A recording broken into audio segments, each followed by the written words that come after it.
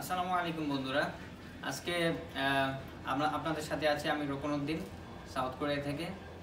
তো আপনারা সবাই জানেন যে আমি কোরিয়াতে প্রায় অনেক বছর ধরে স্টুডেন্ট ভিসার প্রসেস করি। তো আজকে আমরা পরিচয় করে দেবো আপনাদের সাথে আমার দুই হাজার বিশ সালে তো, তাই না? দুই হাজার বিশ সালে যার স্টুডেন্ট ভিসা প্রসেস করি আমি সাউথ কোরিয়া থেকে।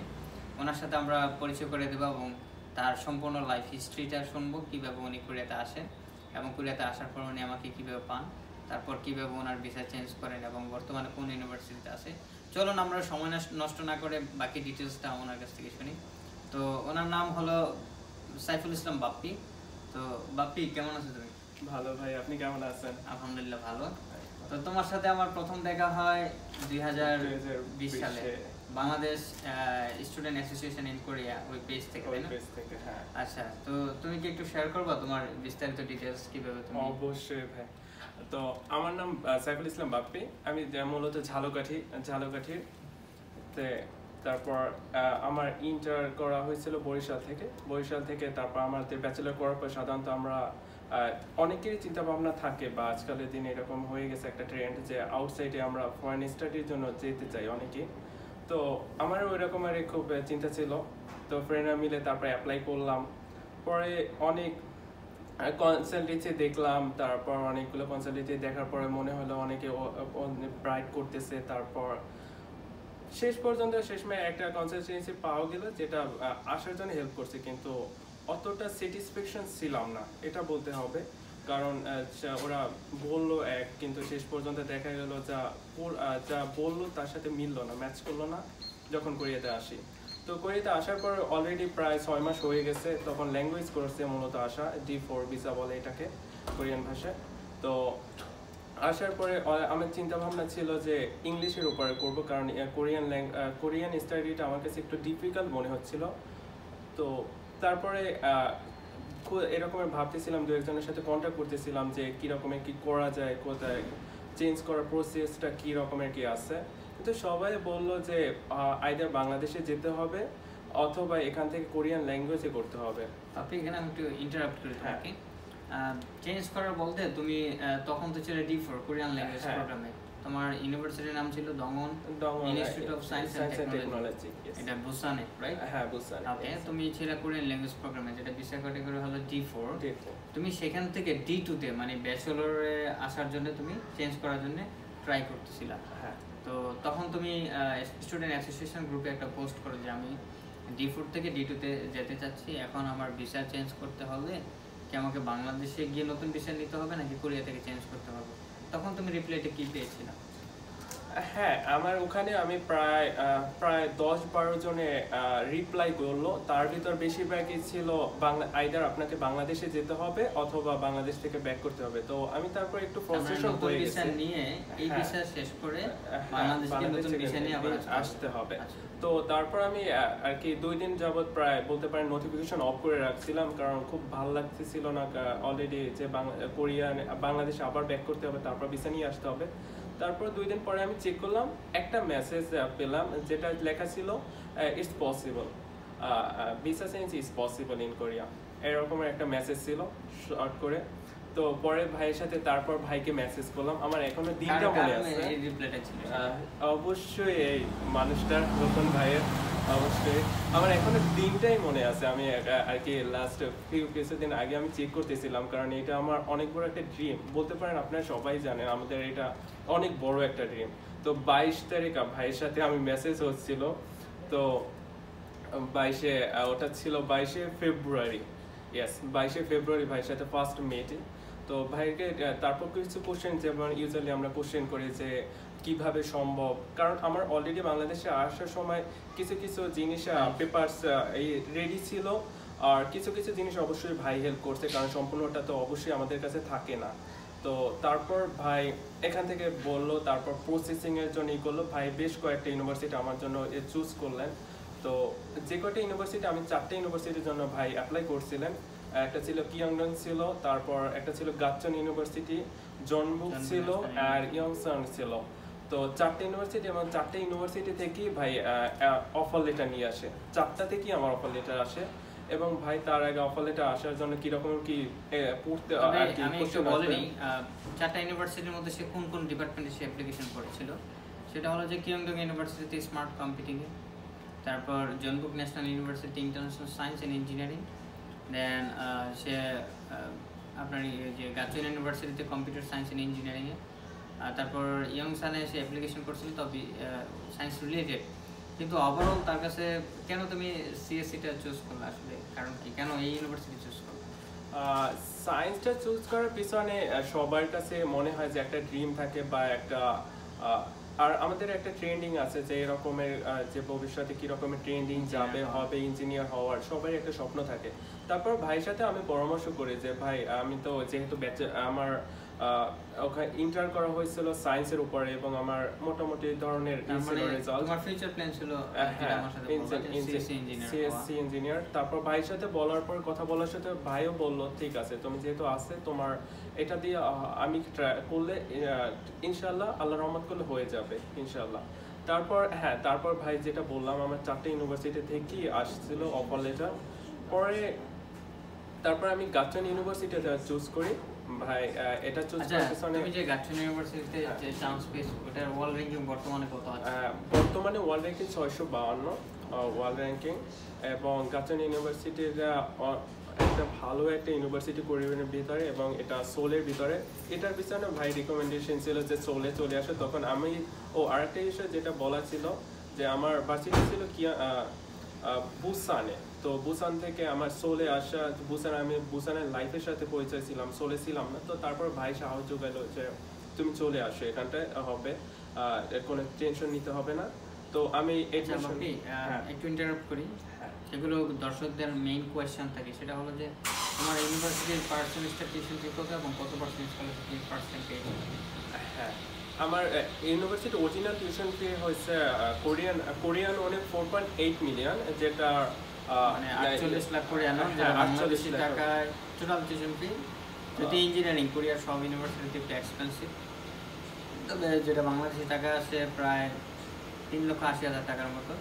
সেখান থেকে তোমাকে first semester fifty percent scholarship আমি পেয়েছিলাম তো আমার টিউশন ফি পড়েছিল টু পয়েন্ট সিক্স মিলিয়ন টাইপের আর কি ছাব্বিশ লাখ প্রায় দুই হ্যাঁ লক্ষ টাকার মতো।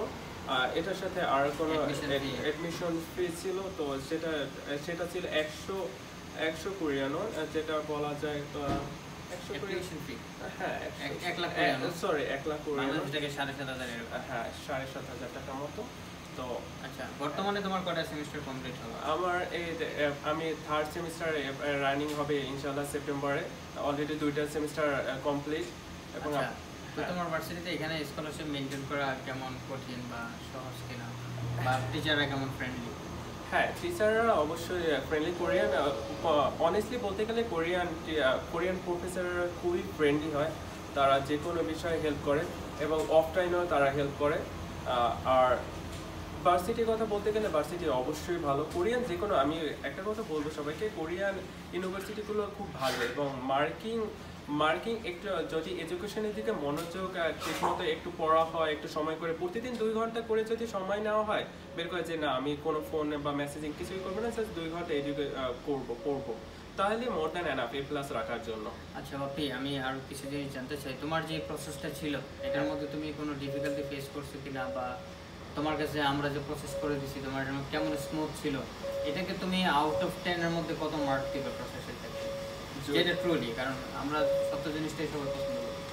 আমি অবশ্যই বাড়াই কিছু অনেকে বাড়াই কিছু বলতেছি না, কারণ আমার আমার এক্সপিরিয়েন্সটা ছিল, আমি বাংলাদেশ থেকে আমরা জানি সবাই যে বাংলাদেশ থেকে অনেকে যারা ফেস করছে বাংলাদেশ আসার ক্ষেত্রে অনেকে অনেক কিছু কনসালটেন্সি বেশি করে বলে, তারপর অনেক কিছু বাড়াই বলে, তা এগুলো সমস্যা হয়।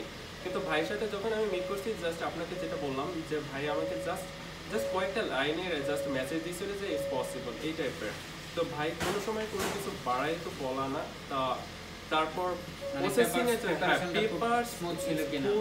প্রপারলি গাইড দিতে পারছি। হ্যাঁ খুবই স্মুথ এবং টোয়েন্টি ফোর সেভেন ভাইকে যারা এখনও যারা স্টুডেন্ট যেমন ভাই গত সেমিস্টারে চল্লিশ জন স্টুডেন্ট বাংলাদেশ থেকে আসছে এবং সবাই সাকসেসফুল আইদার ব্যাচেলর অথবা মাস্টার্স সবাই সবাই সাকসেসফুল এবং তাদের ক্ষেত্রেও আপনি যদি ভাইয়ের পেজে যান আইএমপল এডুকেশন সেন্টারের পেজে যান, তো ওখান থেকে আপনি তাদের রিভিউ পাবেন যে আর কি তাদের তাদের তাদের এক্সপিরিয়েন্সটা কেমন। তো আমি এখানে কিছুই বাড়াই বলছি না, আর ভাই সবসময় এইটা সার্ভিসটা ছিল কোনো সময় বাড়াই কিছু বলে নাই। যেটা যখন দরকার হয়েছে ভাই ওইটাই করাই দিছে এবং আরেকটা কথা আমি এর সাথে অ্যাড করব, তো আমার যখন ভিসা চেঞ্জের জন্য যেটা এম্বাসি অ্যাপ্লাইয়ের জন্য যখন আমি অ্যাপ্লাই করতে যাই তখন একটা প্রবলেম ফেস করতে হয়েছিল যেটা ইমিগ্রেশনে হ্যাঁ কোরিয়ান ইমিগ্রেশনে ইন্টার্ন ইমিগ্রেশনে আমি অ্যাপ্লাই করছিলাম। তো ওখানে একটা প্রবলেম ফেস করতে হয়েছিল যেটা ছিল আমার বলছিল স্পন্সর স্পন্সর যে আমার বাংলাদেশ থেকে টাকাটা পাঠাইছে এটার একটা ডকুমেন্ট দেখানো। যে তোমার বাবা টাকা পাঠায়। পাঠায়। এবং ওইটা ওই ডকুমেন্টসটা সাধারণত সাধারণত তেমন একটা ক্ষেত্রে চায় না ওরা। কিন্তু এটা আমার ক্ষেত্রে চাই চাইলো এবং ওটা সময় দিয়েছিল মাত্র এক সপ্তাহ। যে এক সপ্তাহের ভিতরে আমার ওই ডকুমেন্টসটা দেখাইতে হবে। বাংলাদেশ থেকে আসার একটা ডকুমেন্টস ওটা দেখাইতে হবে। তো তখন ওইটা বিষয়টা আমি একটু ক্লিয়ার করে বলি। হলো যে স্পন্সর ও কোরিয়া থেকে সে কিছুটা তার নিজের টাকা ছিল কিছুটা ফ্রেন্ড থেকে এবং বাকি কিছু টাকা আমি নিজে ওকে- ওকে কালেক্ট করে দিই। তো জেনারেলি ওর স্পন্সর হলো ওর বাবা। সেটা লেখা থাকে ডকুমেন্টসে তখন ইমিগ্রেশন তাকে আজ করছিল যে তোমার যেহেতু স্পন্সর বাবা, তোমার বাবা দেশ থেকে টাকা পাঠাইছে ওই ব্যাংক ট্রানজ্যাকশন রিপোর্টটা নিয়ে আসুন আসলে তার তো টাকা বাবা পাঠায়নি, টাকা আমরা ম্যানেজ করেছিলাম। তো সেই সময় একটা ডকুমেন্টস চায়। তো সেই সময় তাকে ওয়ান উইকের মতো বলছে যে তুমি দেশ থেকে টাকা এনে ওই রিসিপ্টটা নিয়ে আসো। তো আমরা এই টাকাটা আবার যে কোনো মাধ্যমে বাংলাদেশে পাঠাই। তারপর বাংলাদেশ থেকে ওর বাবা তার অ্যাকাউন্টে পাঠানোর পরে একটা ট্রানজ্যাকশন রিপোর্ট আছে একটা আপনার ট্রান্সফার সার্টিফিকেট যেমন বিদেশ থেকে টাকা আনবে। ওটা সাবমিশন করার পর পরই ইমিগ্রেশন তার ভিসাটা দিয়ে দেয়। এটা অনেকের একটু ভেরি রেয়ার যাদের একদম ডিফিকাল্ট বা অফিসার যদি একটু হার্ড হয়, তাহলে এই ক্ষেত্রে লাগে এই তো তো তুমি একটু ডিপ্রেস ছিলে এই বিষয় নিয়ে যে হবে কিনা? হ্যাঁ এটা নিয়ে আমি খুবই খুবই ডিপ্রেস ছিলাম। ও বলতে গেলে ওই দিনকার রাত্রিবেলা ঠিকমতো আমার ঘুমই হয় না তো আমি ও ওই সময় আমি অলরেডি সোলে চলে আসছি মুভ করে কারণ ওখানে আমার ওই অন্য ভার্সিটি যেখানে ছিলাম ওখানে ভ্যাকেশন চলতেছিল। তো আমি সোলে ভাইয়ের সাথেই তখন ছিলাম।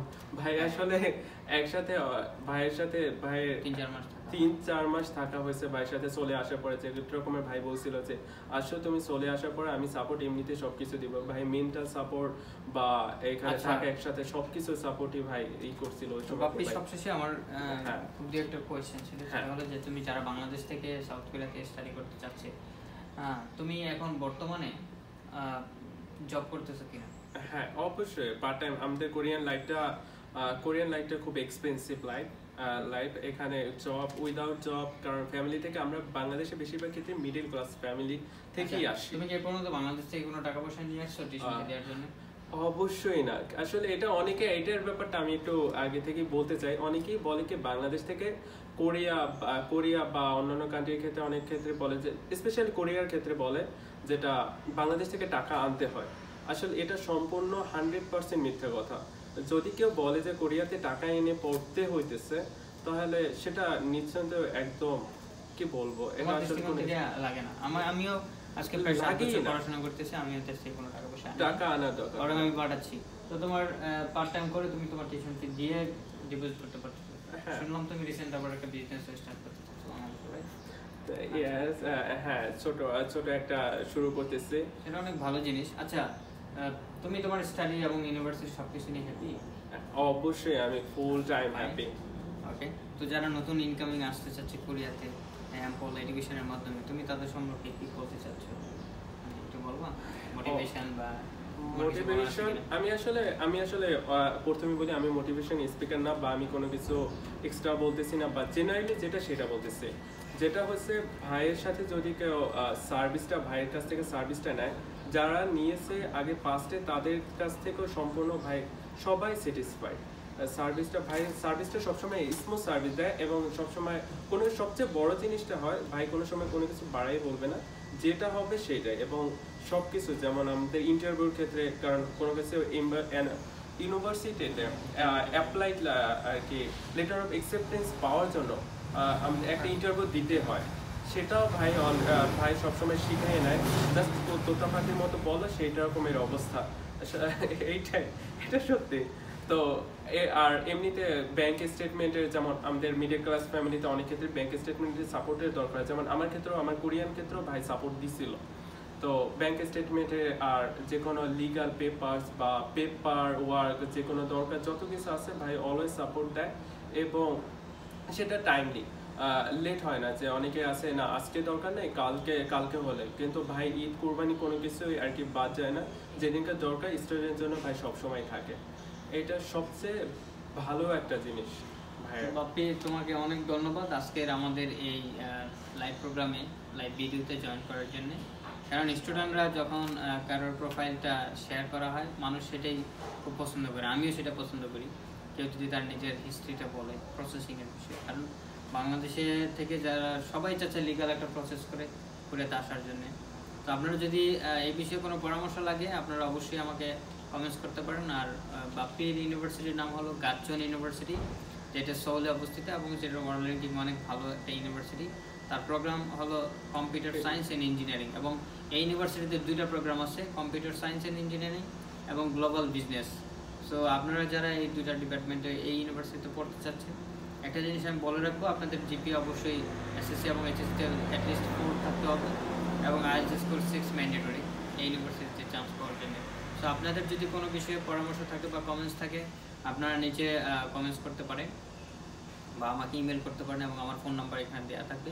আপনারা আহ, আরও বিষয়ে কোনো কিছু জানতে চাইলে আমাকে নক দিবেন। তো এই পর্যন্ত ভালো থাকবেন নেক্সট কোনো ভিডিওতে আপনাদের সাথে দেখা হবে। আসসালামু আলাইকুম রহমতুল্লাহ। সবাই অ্যাম্পলের পাশে থাকেন। এবং অ্যাম্পলের পেজটাকে সবাই লাইক দেন। আর যদি নতুন কোনো ভিডিও আপনারা পেতে চান, অবশ্যই আমার এই চ্যানেলটাকে সাবস্ক্রাইব করতে পারেন এবং বেল বাটনটা প্রেস করতে পারেন। আপনারা নেক্সট ভিডিও পাবেন। হয়তোবা আমি জানি না আপনাদের বিচার কাজ করতে পারব কিনা বাট অবশ্যই আপনাদের কোনো একটা ভালো পরামর্শ দেওয়ার চেষ্টা করব। তো ভালো থাকেন সবাই, সুস্থ থাকেন। আসসালামু আলাইকুম।